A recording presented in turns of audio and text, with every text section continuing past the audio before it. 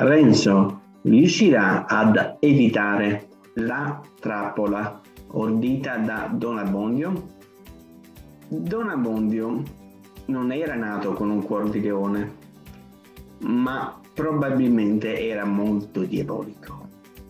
Cerca di ingannare Renzo in che modo? Facendogli credere che era necessario avere qualche giorno in più per alcune pratiche per il suo matrimonio. Questa è una strategia usata da Don Abbondio per spostare di qualche giorno, bastano pochi giorni per far sì che il matrimonio slittasse di alcuni mesi.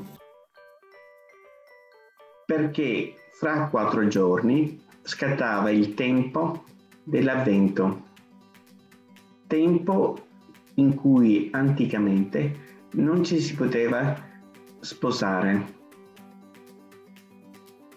Il 12 novembre 1628 era la prima giornata dell'avvento.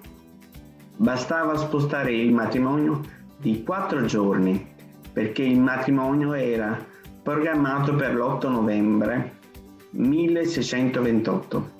Don Abbondio è diabolico. Cercherà di ingannare Renzo in tutti i modi per far slittare il matrimonio di alcuni giorni, facendogli credere che si potrà sposare a breve, ma in realtà il suo piano è quello di slittare il matrimonio di alcuni mesi per avere più tempo. Cadrà nella trappola Renzo? Lo vedremo nei prossimi video. Ciao al prossimo video.